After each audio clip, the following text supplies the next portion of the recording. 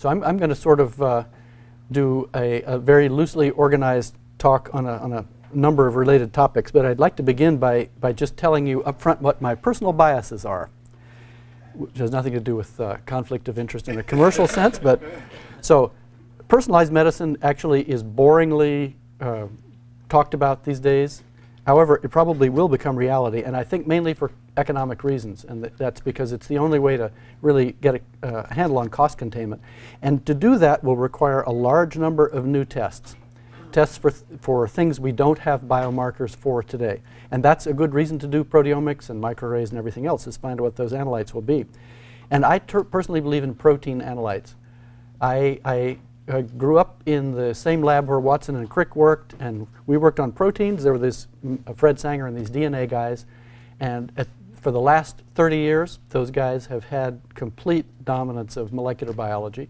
And it turns out that DNA is a good storage medium and RNA is a good messenger, and none of it has any functional significance. It's all basically coming down to proteins. So I have a strong protein bias.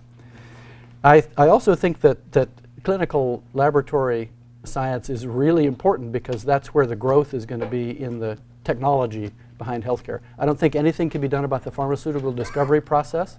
You've had all the money in the world, doesn't work any better than it used to. And I'm not so sure what can be done about the medical profession. But uh, diagnostics can be improved. And that's, that's the, the, the interest, my particular interest. And I also think that mass spectrometry is going to become a major tool in, in the diagnostics world for a number of reasons that have primarily to do with its with potential for absolute specificity in detection and the fact that that, uh, that in its generality may turn out to be really useful. So I, I, let me begin with a slide that I show to the proteomics community because they don't know this, and that is that proteins have been measured for a long time clinically. And in fact, it's done obviously at high throughput all the time by guys like you. They, in, in proteomics, people can occasionally be surprised that there are clinically measured proteins. And that in itself tells you something about proteomics. Now, the, the difficulty from my perspective about plasma, and, and this, th this, this is a, an interesting slide which attempts to put on a log scale of abundance uh, major proteins which are measured clinically in plasma. And it spans 10 and a half logs of abundance, from albumin at the top down to IL-6, for example. And that's much wider dynamic range than any detection technology that we've got that is systematically applicable to all the proteins at once, mass spec, gels, anything like that. And it tells you why it's so difficult to discover new things by actually looking in plasma, and may, which may not, in fact, at the end be the right thing to do. And it, it's also interesting that uh, at the upper end of the abundant spectrum are the classical plasma proteins, obviously. In the middle are tissue leakage, and at the bottom are things like cytokines. And at every point in this curve, there are clinically interesting proteins. So there's really no reason to be biased against high abundance or low abundance or medium abundance proteins. There's use everywhere. And I'll, I'll also admit that, that this slide is showed by a lot of people at a lot of conferences, it turns out, because even though there's no novel data in this slide whatsoever, in fact, most of these numbers have been known for 20 years, it took a long time to begin to think that there was, in fact, a lot of difference in abundance between proteins. And, and that's, that's another indication of, of how primitive our concepts were in proteomics.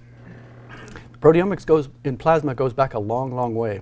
In fact, uh, in the early 1930s, uh, Svedberg used an ultracentrifuge to find two different fractions, and then Tiselius used electrophoresis and found three things in plasma. Alpha, beta, gamma globulins, right? And, and there is a pseudo-linear, log-linear relationship in the number, increase in the number of things that can be visualized in plasma ever since. And it, it goes up now to many thousands of different things you can see. But when you find out how many proteins those are, that it went through a, a, the 2D gel era uh, around about this period of time. F for 20 years, we had an increase from 40 to 60 proteins you could see on a 2D gel of plasma, not very rapid progress obviously. And then with the advent of really multidimensional techniques, uh, things exploded. And it's legitimate to believe you can, you, with a lot of fractionation, you can probably legitimately see a thousand proteins in a plasma sample with a huge amount of effort today. And so we, we finally got back on, on, the, on a real increase in, in information with these really multidimensional methods. But clearly, we, we, we've been at this business a long time. Now, that was a, a, statement of the scientific difficulty. The difficulty about where this field is going is summarized here. This is the number of new protein analytes introduced in each of the last 12 or 15 years uh, from the FDA's database of new protein-based clinical tests applicable in plasma. And if you, instead of using a second order fit to that, fit a line to it, it goes through zero right about now. And there will never be another diagnostic test introduced for a new, new protein, if you believe this. Now that's obviously counterintuitive, and it can't be true. But uh, so I, have spent some time asking the FDA what this is due to, and they have they have the obvious response. They don't know, but it's not their fault.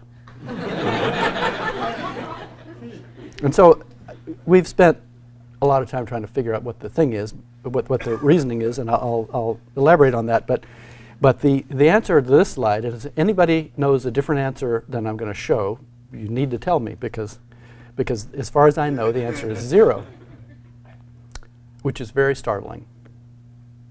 Anyway, uh, that, that leads you to wonder what are the explanations for our conspicuous lack of success in using all the resources in proteomics to find new clinically usable biomarkers in this limited area of, of plasma protein detection.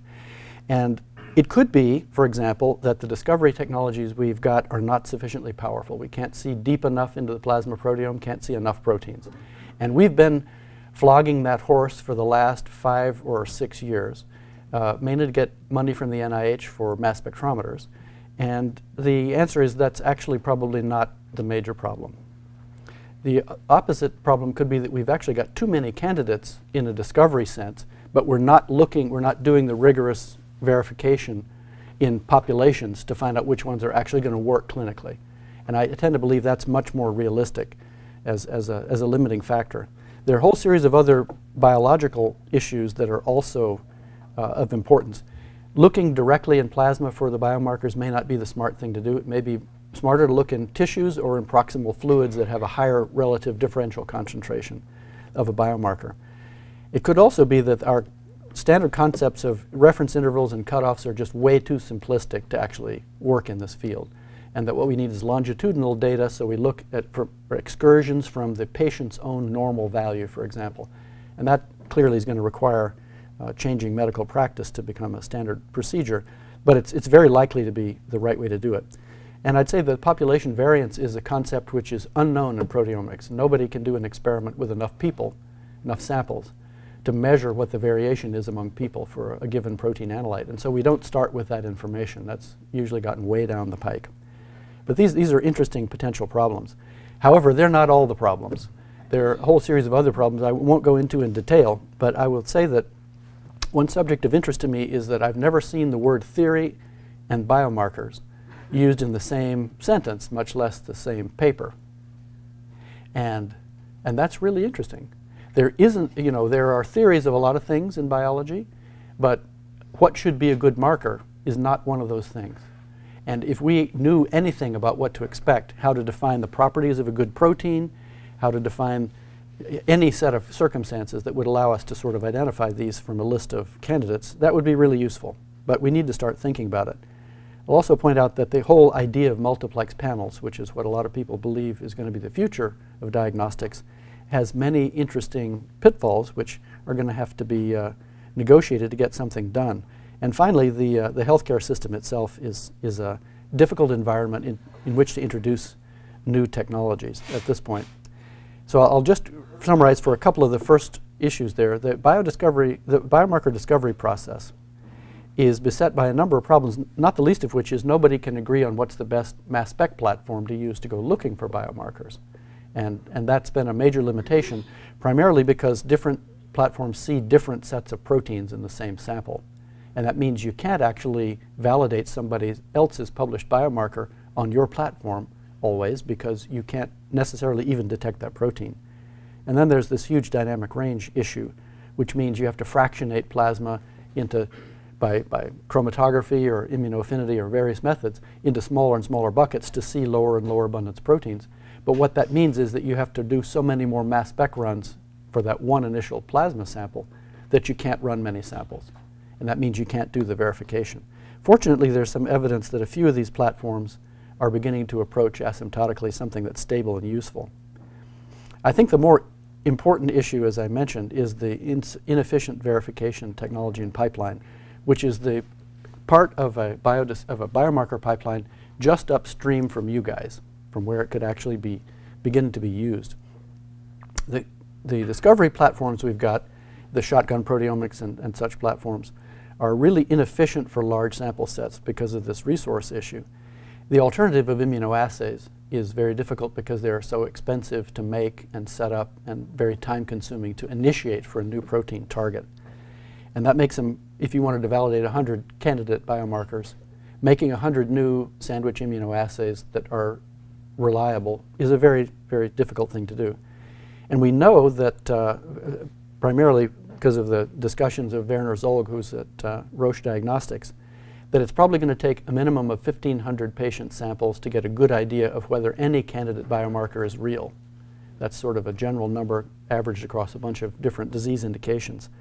And nobody currently funds that work, not least of which because it's considered it, it's not appropriate for the government, it's not appropriate for the diagnostics industry because it's too speculative, and most importantly, academics are loath to do that generally because it's not the discovery stage. And you're not going to get credited with discovering the biomarker. You're just trying to find out whether somebody else's discovery was nonsense, which it is almost all the time. The attrition rate is so high. So it's difficult to get tenure based on validating somebody else's biomarkers, or that's what they tell me.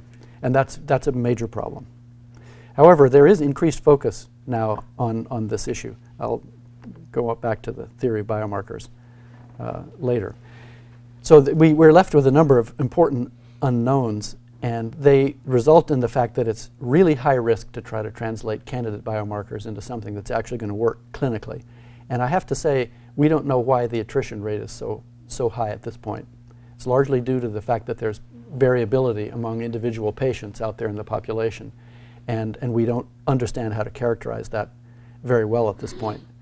Uh, I will say that the, the, the once very popular approach that will simply collect a hell of a lot of data, throw it into some miraculous bioinformatics system, and it will find a not quite comprehensible but maybe reliable way to differentiate disease and normal.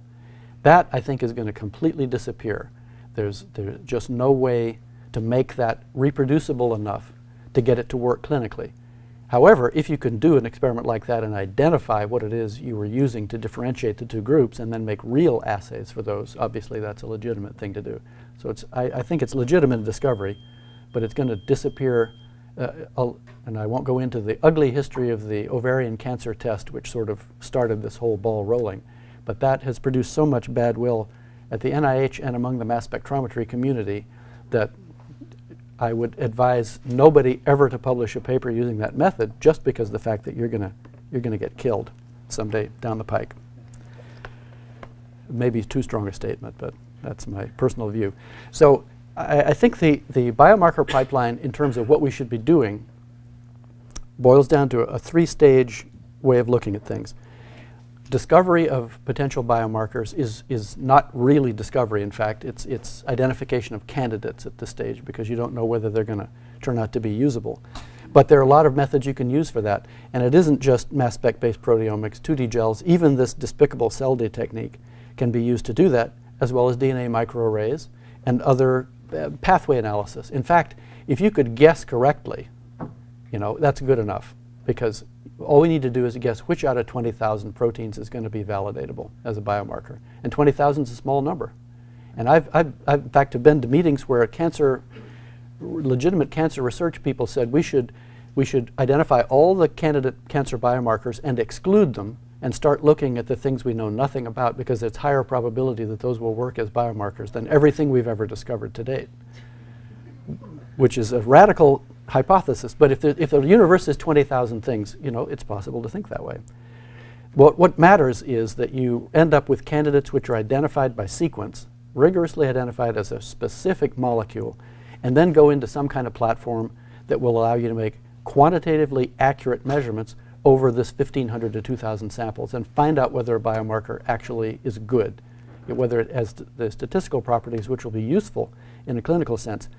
And, and from there, once you find out what really works, the obvious uh, approach would be to make immunoassays and put them on the standard immunoassay boxes that exist in, in hospital and large clinical laboratories everywhere and pursue the introduction of new analytes that way.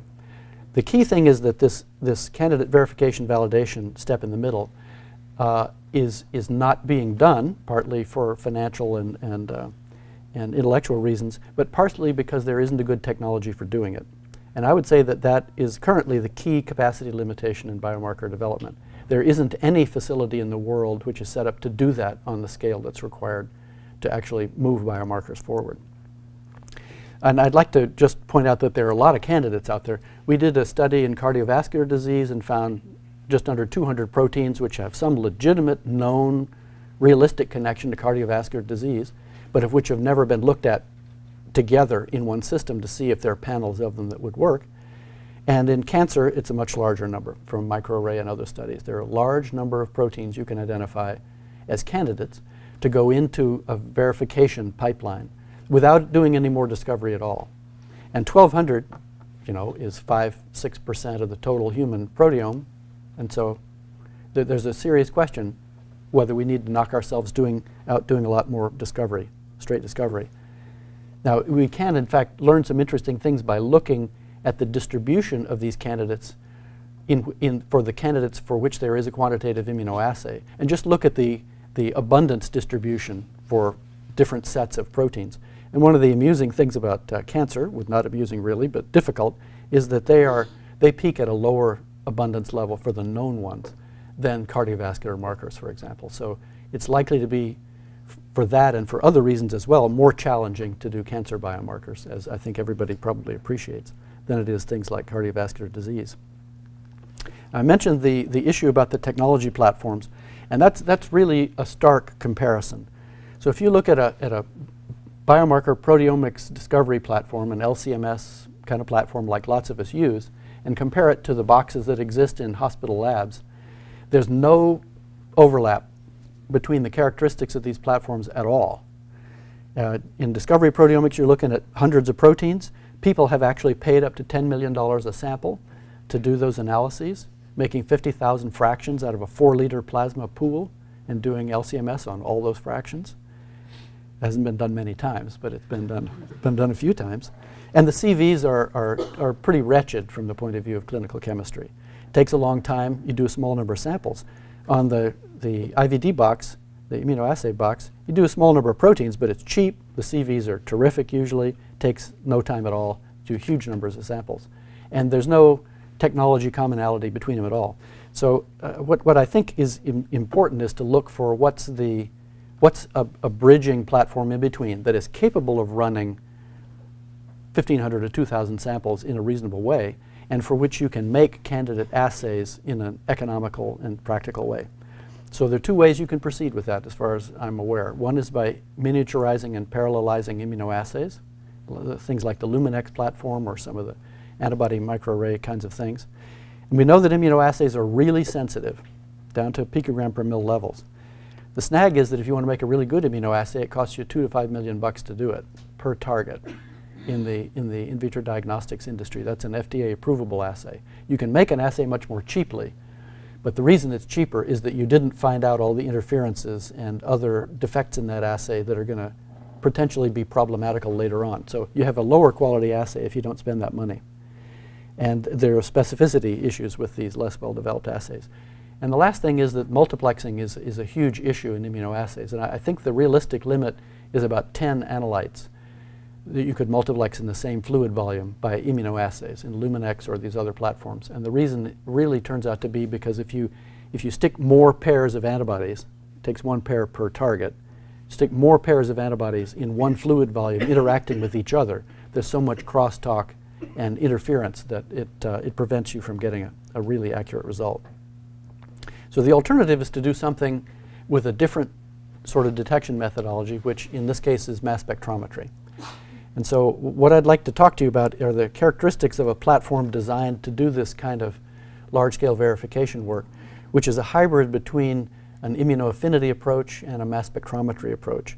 And it's one in which we would take a plasma sample, for example, digest that to peptides with trypsin, which has the advantage that it stops all enzymatic activity and leads to a relatively uh, stable sample version of, a, of the plasma proteome, but it does throw away all the structural information.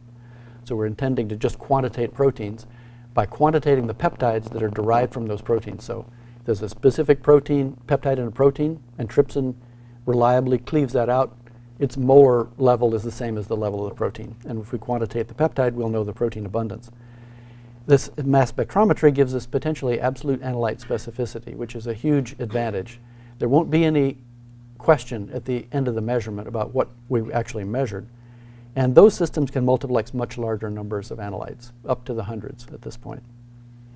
And so the, the technology I'll talk a little bit about is called SISCAPA, which is an acronym that stands for Stable Isotope Standards and Capture on Antipeptide Antibodies. And it's going to use antibodies to enrich the specific peptides that we want to measure out of a complicated digest, a really, really complicated digest. But we know that we should be able to make specific antibodies to peptides, and that may be able to pull out what we want to look at. And you can envision this as a sandwich assay, but the second antibody is made out of stainless steel, and it's uh, expensive but general purpose. And so it, it, it's capable of being the universal second antibody. The mass spectrometer people kind of like that idea. So the, the schematics of this process would be as follows. We would spike our stable isotope labeled synthetic peptides, a version of the peptide we want to measure that includes a stable isotope. So it's chemically identical to the analyte we want to measure, but has a different mass. And the mass spectrometer can differentiate it. Spike that into plasma, digest that with trypsin to peptides. We get a, an ocean of these different peptides. And then use an antibody to capture the peptide that we want, throw away everything else, and then use a mass spectrometer to quantitate the sample-derived peptide and the internal standard at the same time and ratio those two together. So that's basically using the isotope dilution method that's you know, been known forever in small molecule uh, quantitation. Part of the objective of this kind of strategy is to use as little new technology as possible and use instrumentation that is well known and has a stable history in large-scale analytical operations. So I'll show you a little bit of proof of concept data around uh, looking at the first few years experience with this technology. First, the, the use of the mass spectrometer to measure peptides, because the triple quad mass spectrometers have been used forever to look at small molecules, but only recently to quantitate peptides. We did that with work with Christie Hunter at Applied Biosystems. A little bit on the production of these stable isotope labeled peptide standards, and then talk about the, uh, the enrichment of the target peptides, which is mainly a collaboration with Terry Pearson and the guys at the Proteomics Center at University of Victoria over the water from you up here and also magnetic bead work with Mandy Paulovich and her group at uh, Fred Hutch. So to start with, with the detector end of this kind of technique, which is basically using a mass spectrometer as a quantitative detector instead of, of an immunoassay, as I've said. The, the, the value of this is that we don't actually have to have our hands on the protein or anything. We just need the sequence. And we can digest that sequence in silico to see what peptides would be generated by trypsin. Choose the ones of about the right length use a whole bunch of other features that we, we like prolines because that makes them immunogenic. We don't like cysteines, methionines, and tryptophans because they're potentially modifiable oxidation, etc. We don't want any post-translational modifications because they would be variable. We don't want any coding SNPs in this peptide if we can avoid it. We want it to be unique to the protein, so we're not measuring more than one thing. All those things can be done informatically in a reasonable way. And then we would like to use some experimental data about which peptides ionize the best and give the best signal in a mass spectrometer, for example. And from this, we can calculate the mass of the peptide, obviously, and we can project the mass of some of the likely fragments of that peptide in an MSMS experiment. And that gives us a, a candidate assay, the, the two numbers to tune a mass spectrometer to detect this peptide relatively easily. The kind of mass spectrometer used to do the detection is a triple quadrupole, which is basically used for quantitation. It's completely different from the mass spectrometers used in proteomics research. So almost none of the early mass spectrometric uh, approaches to biomarker detection involved this kind of mass spectrometer. But this is really straightforwardly aimed at quantitating something you know already, and which is the objective here. And the idea in this kind of mass spec, a triple quad, is that you have a mass, you, you ionize your peptide molecules flying through a vacuum, They go through a first mass filter, which throws away everything except a little window around the mass you know the peptide must have. Then you collide it with some gas atoms busted into pieces, and then you have a second mass filter set to pass only one of the pieces that's diagnostic for, the, for that particular peptide. And what comes out is a signal. And so that signal goes up and down during a chromatogram of these peptides flowing through, and you get a peak. And the area of the peak is related to the amount of that peptide that was present. And, and I, I hesitate to say this with Jimmy in the audience, but the strength of this technique is that it doesn't involve any bioinformatics downstream of the analysis. All the bioinformatics is in the design of the assay, and it's peak integration in the most simplistic possible sense at the end of the day to get the quantity. And for me, that's an advantage, but other people can feel differently about, about bioinformatics. So what it really looks like when you do an assay like this is in the second uh, box here, you set a pass window around the mass of the peptide, that peptide is then fragmented into a bunch of pieces shown in the spectrum at the bottom. Set a little window around the fragment you want to look at. And what gets through those two windows in succession is what's shown in the top panel there, which is during a chromatogram you get one peak. And that peak is the peptide that you are intending to detect. And in fact, you can prove chemically that that's exactly what it is and it's not anything else. And that's the, the basis of this prospect of uh, a complete analyte uh, specificity. This is a particular peptide from alpha-1 acid glycoprotein, which is an acute phase reactant and an interesting protein to measure. And if you measure the amount of that peptide, it's a, it's a good clinical, it's, it's a valid measure of the amount of that protein and, and a useful clinical marker. So, so far, without fractionating any, doing any fractionation of the plasma, just digesting a sample of, of straight human plasma, you can do these, what are called selected rea reaction monitoring or SRM assays, or the plural is MRM assays, in a triple quad mass spec for about 50 of the most abundant proteins without doing anything else. You just are going to stick in the standard peptide, digest it, go ahead and, and measure them by injecting a sample into an LCMS system. And the proteins you can measure is a pretty nice bunch of proteins, and it includes, I was just talking about lipoproteins today, A1, A2, A4, B100, C1, C3, and ApoE which is an interesting bunch of lipoproteins and, and a whole bunch of interesting other things as well. A lot of the coagulation pieces you can measure this way in one shot. And all these can be measured in one run. So you can measure these and in fact many other things simultaneously in, in a sample without doing any more work than it took to measure the first one. There's no incremental cost or effort to measuring all of them at the same time in this kind of a system. If you do that, and this was the work we did with Christie Hunter, and, and run a series of experiments. A, B, C, D, and E are, are each experiments involving 10 replicate runs of the same sample. And we were just looking, and this is within run CVs with the same sample. And the CVs for many of these measurements can be quite low, can be down between 2 and 5% for many of the peptides. It seems to be peptide idiosyncratic, but there are peptides that are very good. Fact, what we, we like to believe that within every bad protein, there's a good peptide somewhere and the idea is to find them. Now, the, the other interesting thing about that is that the actual, the amount of sample injected into the system to make these measurements of these peptides is the digest that you would get from 10 nanoliters of plasma. So that's, that's not a problem even for pediatric samples, obviously. 10 nanoliters is, is a small sample consumption to do that amount of analytical work. Now, it's going to take more to look for lower abundance proteins, but for the top 50, it's, it's an absolute dead cinch that's not going to require a sample.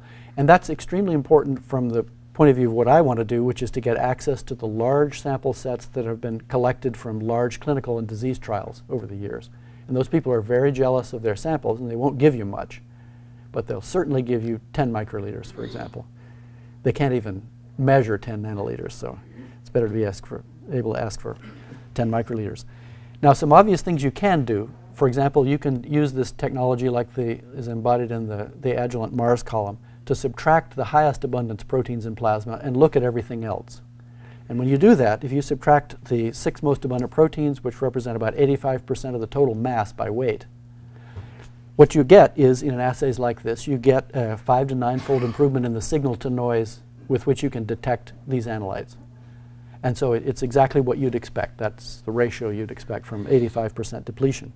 The only problem with that is that when you, when you do this kind of depletion, you're not absolutely certain that you're not removing some of your analyte. You're pulling out, with a good antibody, you can pull out pretty much what you aim to deplete. But it would be much nicer to be able to do this without that. And I'll, I'll return to that later. Now, on the subject of how you make these stable isotope internal standard peptides, you can do it by chemical synthesis. This has been done.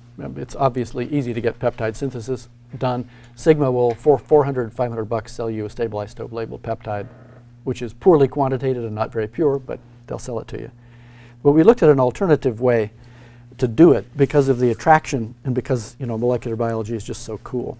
So we, we took uh, 30, the peptides we were using to measure 30 individual plasma proteins, took those tryptic peptides, concatenated their sequence together into a long novel protein sequence, generated a gene, got it expressed, in this case, in a, in a linked transcription translation uh, in vitro system with uh, labeled amino acids. And you can make N15, C13 labeled uh, standards this way very expeditiously, and then trypsin is going to cleave it into all the individual standards just like they were chemically made. The advantage of this actually is what it saves you is the amino acid analysis cost on 30 separate peptides and the losses that you'd experience trying to recover those out of a vial. And in this case, you quantitate the protein once, and you get equimolar generation of all of these peptides. There has been a lot of questioning about whether you get equimolar peptides released from the digestion of this. And it turns out that it, it actually does work very well, primarily because you design the cleavage sites in the recombinant protein to be easily cleaved. So you can fix anything that's wrong. And you can use that to, for example, here's a, the concatemers at the top, fibrinogens at the bottom. You digest them both, and you get the two signals, which you can ratio to do quantitation.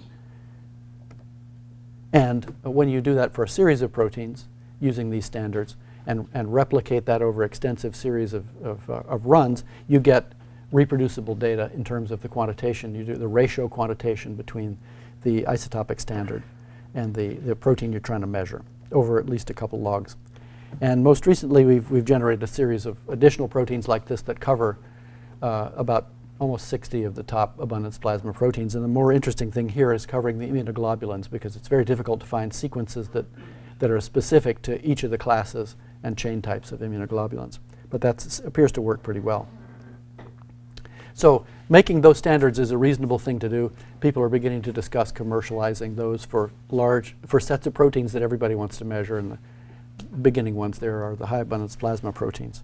Because there is clinical measurement of high abundance plasma proteins, usually by nephelometry at this point. And this, this could uh, supplement that.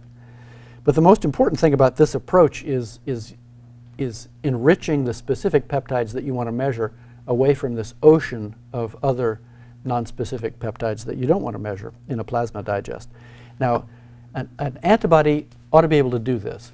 And it turns out, probably not coincidentally, that an antibody can recognize the sequence of a five to eight amino acid stretch of a peptide. It also is sort of coincidental that five to eight amino acids is the length a peptide has to be to be unique in the human proteome. The immune system having obviously been designed specifically to be able to do that. And, and it, it, obviously works. And so it should be possible for us to make antibodies that are almost specific to a given peptide sequence.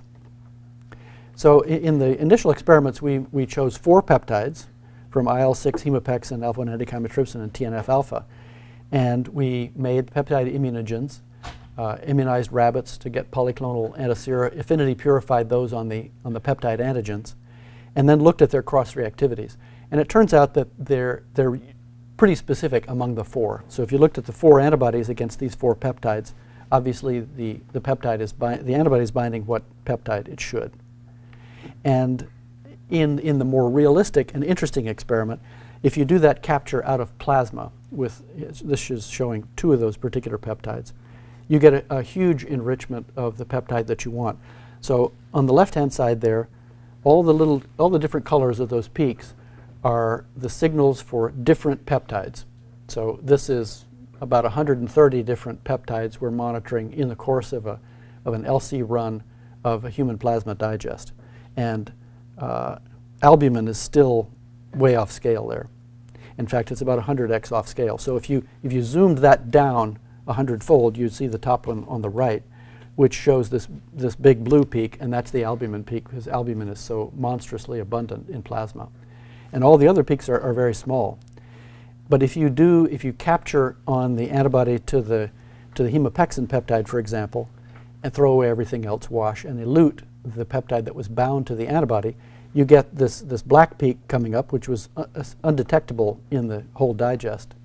And the albumin peak is suppressed to a very low level, giving you about a 400-fold enrichment. You can do about 10 times better with a different antipeptide antibody, the one to alpha-1 antichymotrypsin.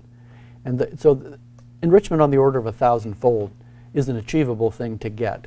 And that turns out to be about the level of enrichment that we need to extend the, the sensitivity of these assays down into the region around a nanogram per mil protein which is where we need to go to be able to, to compete with and replace, for verification purposes, uh, the standard immunoassays.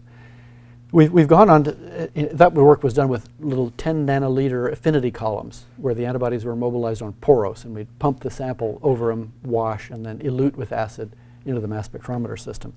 To get higher throughput, we switched over to using a magnetic bead approach in which the antibodies are, are captured by uh, protein G-coated magnetic beads in this case, and, uh, and pulled out, washed, etc. And the elution is then done to, uh, to elute the peptide into the LCMS system.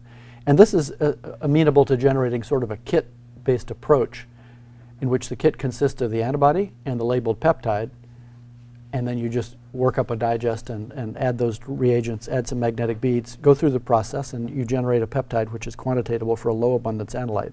And that, I think, is, is the, the approach that we're, we're likely to follow, at least for the first generation of these assays when we're trying to work out a way to, to distribute them. And this works uh, extremely well, the magnetic bead approach, and we'll simplify that complicated chromatogram at the top down to effectively just the one peptide that we want to measure at the bottom. So it's not, I won't say that it's absolutely pure the target peptide recovered from the antibody, but it's so highly enriched that it's difficult to detect anything else of the things we go looking for. And we can multiplex this by adding different antibodies together. And in this case, we captured four different peptides on four different antibodies out of a plasma digest. How far the multiplexing can go, whether you can go to 100, I have to say we don't know yet. It may take different runs. One of the things we've been interested in is how to do the magnetic bead manipulation effectively. And I show this because, because I just really like it. This is uh, this is a 100 micron ID capillary, and under it is rotating a disc with little magnets on it. And as it rotates by, it, those beads are swept back and forth in that little tube in a way that, that traps them, so you, you, can low, you can aspirate through regular autosampler, magnetic bead suspension, they get trapped in the zone of this, in this little tube. They get moved back and forth, they're washed very effectively, and then you can elute them in a capillary tube. So it's, it's, it's part of the LCMS capillary system and therefore avoids any losses of material downstream, which is a major issue with small amounts of peptides. And using this system, we've been able to elute the peptide completely from the magnetic beads in one microliter of the flowing fluid stream going by. And that's, which is really a pretty space-conserving way to do this. And it's a, a very attractive uh, little gadget approach. The capillary, in fact, is a loop that basically replaces the sample loop, the injection loop on the LCMS system. And that gives us some hope of, of being able to, to make a semi-automatable system that can just slurp these things up, wash the beads, inject, slurp, wash them up, etc., et uh, go on. Now, making the antibodies has turned out to be a really interesting exercise because we don't know how to predict, we don't know very well how to predict which peptides are going to ionize well and therefore give good signals, but we especially don't know how to predict which peptides are going to generate good antibodies, which will be immunogenic in a rabbit. Only the rabbit knows, turns out. We, we don't know. And people have published a million papers on predicting antigenicity, and apparently none of these algorithms work at all. So we just decided to forget about it. And so we, we choose five peptides, because the, the success rate going in pretty much blindly is approximating 50% of getting an antibody to a peptide.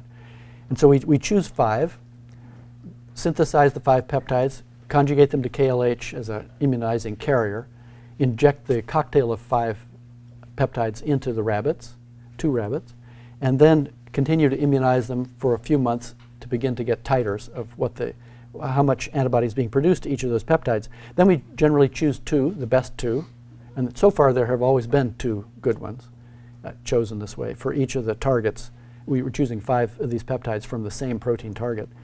And then we can go on to affinity purify them and qualify them in assays.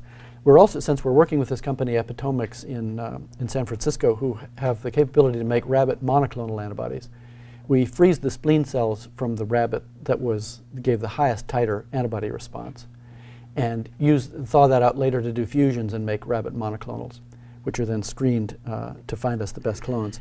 And the way we've been doing that is by uh, uh, surface plasmon resonance on a Biacore device, which turns out to be interesting because you, we, we have uh, immobilized on the target a capture antibody, which is against rabbit IG. This captures out of the tissue culture supernatant from the monoclonal process the rabbit IG, and then on top of that we bind the peptide out of solution. And the peptide is so small in terms of its molecular weight relative to a protein that it gives quite a small uh, surface plasmon resonance signal, but nevertheless enough to actually measure its association and dissociation characteristics because what we want are to select very high affinity antibodies for this application. And so these, these are some of the traces of the, uh, of the association and dissociation of the of different of the pept single peptide from all these different clones of antibodies. And if I can point here, so this one, the little green line here, is almost imperceptibly decreasing over time, which means it's not dissociating fast. It has a very slow off rate. And that's what we want because we want to capture the peptide, be able to wash as long as we want, and the peptide not come off the antibody. Others, for example, the ones at the top, definitely go down faster, and that's symptomatic of that can be measured as a, as a faster off rate. So what you end up with are the association and dissociation constants, and you make the ratio between those and you get the KD. And so we can rank all of the monoclonal clones based on the actual kinetic constants that we want. And so far, for all the peptides that we've made monoclonals to, we can get clones, some clone, with at least nanomolar affinity. So it's at least 10 to the 9, and sometimes up to 10 to the 11 affinity, which is, which is kind of amazing to me. I didn't think an antigen as small as a peptide would give us that kind of affinity, but it turns out to, to work relatively well. And what that means is that, that uh, we should be able, in the general case, to add three logs of sensitivity to the, to the mass spectrometer capability alone. Now, the, as I mentioned, you can see proteins down to about the microgram per mil level in plasma by just mass spectrometric MRM measurements in a digest without much fractionation at all. To go farther down, we can get another three or three and a half logs by the capture on the antipeptide antibodies, enriching the peptide we want, or the peptides we want with different antibodies, and look at those specifically. There's still two logs at the bottom compared to the very best immunoassays that we're missing, and that's a function of how many molecules of analyte there are in a 10 microliter sample, which is what we're scaling everything to, 10 microliters of plasma. And the mass spectrometers themselves lack about two orders of absolute sensitivity at the bottom end there. Now, in the next couple of years, we know we'll get one more order of magnitude. And if we, got, we went to using a 100 microliter plasma sample, we could get the other order of magnitude. So I think we're definitely within the range of, of getting to that sensitivity, and therefore uh, in, in a finite period of time, we'll get to, the, to bridging the entire spectrum of, of, of sensitivities that are required to compete with all the existing immunoassays, which is an objective here for a reason I will mention in a moment. And that is the, the, the question of whether we should, we should look at abandoning immunoassays entirely in, uh, in protein measurement and diagnostics and related fields and not immediately, obviously, but begin thinking about uh, using mass spectrometry-based assays instead. And, and I think the reason for this, uh, one of the most heartening things to me in pursuing this is, is listening to Andy Hoofnagle because there, there are people who have enough nerve to stand up and say that there are immunoassays that are really bad and, and are still in clinical use and giving incorrect results because of the lack of complete specificity and the, the presence of interferences. And this kind of an assay is not susceptible to that class of interferences and, and therefore has the potential for absolute specificity and giving the right answer. So there's a quality argument which is going to be persuasive for a certain number, small number of analytes we're interested in. The next thing is, is the multiplexability and the ability to measure hundreds of proteins accurately in one run is, is much, much better, particularly when you want to make arguments about cost per test. If we actually need to measure many proteins, it would be better to do it in this kind of a highly multiplexable platform. And, and the final thing is that it's practical for us to generate these assays pretty cheaply. And by that I mean, you know, ten, twenty thousand dollars to make the reagents to make a robust assay that is actually going to work on a large scale. Whereas to do that for an immunoassay is, is much more difficult and much more time consuming. The rate limiting step is still the rabbit. Rabbits take time to generate antibodies. And in the, in the end of the day, we'll have made enough reagents to cover the proteins we're interested in, but currently it's, it, we have to wait six or nine months to get the reagents that we want to get. And that's, that's just unfortunately the way it's going to be.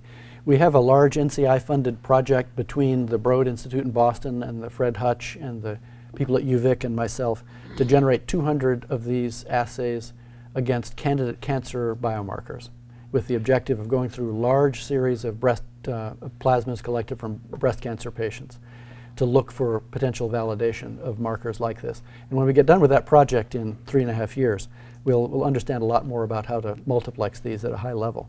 But at any rate, we're, we're in a position to generate the assays.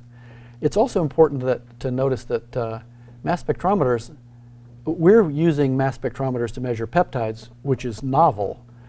The peop people have been measuring small molecules like steroid hormones, immunosuppressants, homocysteine, all kinds of metabolites in newborn screening for a long time.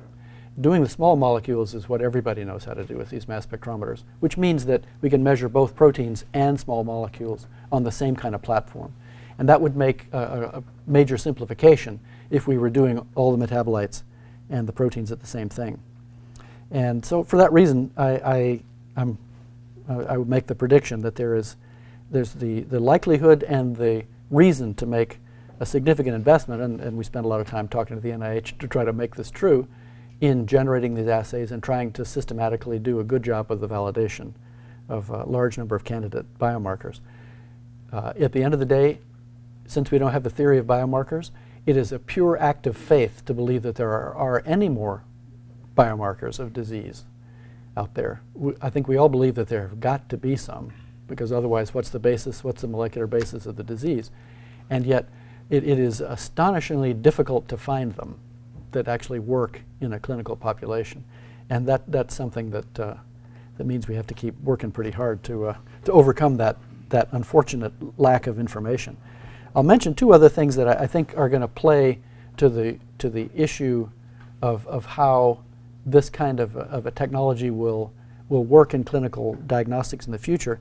And one of those issues is, is purely uh, sociological connection. The idea of measuring things in patients is the most distal, mo is the most distant from the patient of any of these methods we use in, in medicine, I think. Patients don't know what happens to a tube of blood after it's taken out of, out of their arm. They don't know that there's a machine on the other end. Nobody ever sees the machine. Uh, Dade Behring did a study and found out that only 5% of the population knows that in vitro diagnostic means a blood test. People, and it, therefore, you know, what's out of sight is really out of mind. And, and that, I think that should change. And the, the, last thing that's, that's a major barrier for us is the fact that the pharmaceutical industry, which has gotten all the technology and has, has spent all the money in trying to commercialize biology is a hundred times as big as the protein diagnostics business. And that really tells in the, in the emphasis that's placed on, on these activities. And going forward, I, I would argue that the diagnostics is going to be so much more enabling in terms of, of dealing with the cost structures in medicine, even than, than the slow advances in, in uh, drug therapeutics that it, it's going to gradually reverse, not reverse, but gradually going to change that ratio in, in favor of the diagnostics business, as it has to if we're going to do what, what amounts to personalized medicine. So, from my perspective, the, the opportunities are, are, are pretty interesting and, and profound, as they usually are when you have some kind of a potential revolution, a disruptive evolution in technology it's, uh, it, it's not going to take us too long to identify and replace the existing poor immunoassays with mass spec-based assays because they're problematical and patients are being ill-served by bad diagnostic results. So that, that I think is, is an absolute given. The, the, the potential for multiplexing these, these mass spec assays gi really gives a potential reality to the idea of using panel diagnostics. And the, the, the ROC curve, the, the specificity and sensitivity measurements for diagnostic tests are, are such that almost any test can be improved by adding a few more analytes that are related to and give additional information about a disease state to get a better specificity and sensitivity. And so panels, if you could do them cheaply, are definitely the right way to do the measurements. And, and a multiplexable analytical system is really the only way that that's ever going to be cost effective. In the regular diagnostics business, I, have been told that if a panel included up to five proteins, you could imagine making five individual immunoassays. And then at the end of the day, you combine the results and make an index out of it. But if you can measure all five of them at the same time for no incremental cost, that's, that's much better. And, and this kind of uh, approach, I, I believe, or I hope, is going to smooth the path from uh, from biomarker discovery through verification into uh, clinical use uh, in, in an academic setting because I, I think that's where a lot of this really sensible biomarker discovery and verification can take place if, in addition to doing the discovery, people in an academic setting are motivated and have the technology to actually go and test it in some thousands of patient samples and see if it's really going to work. That's the, really the standard uh, at which something can be interesting to a, a diagnostics company to make a commercial assay, for example. And the more people that are enabled to do that, the, the better off we're going to be in terms of doing this. So I'd like to conclude by mentioning to you that there are an awful lot of people who have been involved in this. It's a highly collaborative business, particularly the groups up at uh, University of Victoria, both in Terry Pearson's lab at, at UVic and in the uh, uh, UVic Genome BC Proteomics Center. Christie Hunter at Applied Biosystems, the group at Roche uh, Protein Expression who made the first of these polyproteins, and Lee Makowski at Argonne's making the rest of them, and in particular Mandy and her group on the magnetic bead stuff, and, and Thermo for uh, providing instrumentation on the magnetic bead processing. And I'll finally say there's some papers about this. Thanks very much.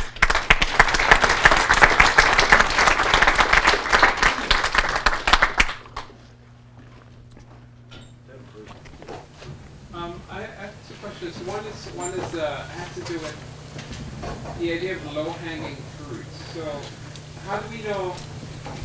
I guess conceptually, what's what's your way of addressing this question of maybe maybe the low-hanging fruit or the only fruit? You know, and then so. But before you answer it, I know I know you can say, well, we can we can, we can do we can do panels instead of single assays. And we'll get more information that way. But the problem is that approach has been tried a lot. So like for cardiac markers, is studied a lot, the best markers are still the ones they got 20 years ago, well not 20 years ago, but basically the best markers are, are still single markers that go up and, and come down as opposed to these panels. And so how do you how do you address that? And the second thing is have you considered other ways of enriching pro proteins. So for example, using like a SELEX type of thing with this, that's nucleic acid base or, something else that does, that's not antibody based. That's so the, the, uh, the low-hanging fruit question is a really interesting one. So the best markers that I know are the markers that emerge from a tissue if you hit it with a hammer. You break the cells, specific tissue-specific proteins come out, and it works. So my markers are, are just like that. That's almost too simple you know, to be worth thinking about. That's really straightforward, and it works. Second class are, are tissue-specific functional proteins that are secreted for some reason and, and do some signaling or other functional job. That, and those, those work well, like, like hormones. You know, they're, they're, they're very useful biomarkers. And that's the tragedy. That's about as long as the list is of things that you can make a good argument have got to be useful. Now, what, what, what gives me some hope is that there are things which we've discarded a long time ago which can be really useful. CRP is a really good example of that. CRP is a non-specific acute phase infection marker, etc., but it's really good as a cardiovascular diagnostic because it turns out inflammation is serious. Well, now in the proteomics business, there's finally enough interest in the acute phase in inflammation to say, to finally somebody, it's never none of this will ever be published, obviously, went through the lists of biomarkers discovered in lots of different diseases, and acute phase and inflammation proteins show up always in every disease state, just about. And so people say, well, we got to figure out a way to eliminate those because they're obviously no use. In reality, they may be some of the best biomarkers we've got because they appear to be saying that something is wrong, just we don't know what it is. And so there, there are, there's, there's a lot of prospect for retreading markers that appear not to be interesting, but we just didn't understand how to use them well enough. And, I- and I think acute phase is a good example because CRP is extremely variable in its response from person to person. You can get a hundredfold or a 5,000 fold induction given stimulus. But it turns out that if instead you measure 10 or 20 of the high abundance proteins that are acute phase related, but they only change a little bit, but you can measure them accurately. If you put together a panel of those proteins, you can make a, a much more precise measurement, and therefore much more stable over time, measurement of inflammation than you can by measuring CRP. And so I, I think more sophisticated utilization of the potential markers like that will give us ways to use these other proteins. But your, your point is right. There's absolutely no proof that there's anything other than the low-hanging fruit out there. It's, it's very speculative at this point. On, on your second question about uh, using like aptamers, you mean nucleic acid aptamers instead of antibodies? So uh, if you know Larry Gold, who's done a lot of that aptamer work, he's extremely enthusiastic about everything and every application of this. But even he told me that he didn't think antipeptide aptamers were going to work. And the reason is because they're good at making a surface, but not a groove. And, and what you need to recognize a peptide is a groove. Now, there, can, there are other scaffolds, other protein scaffolds that may be even better. Some helical bundle things that people, uh, Matthias Plückthun and people like that have worked with, that may be better than antibodies in the long run. But so far, every attempt to use something better than antibodies um, has turned out not to be sufficiently specific.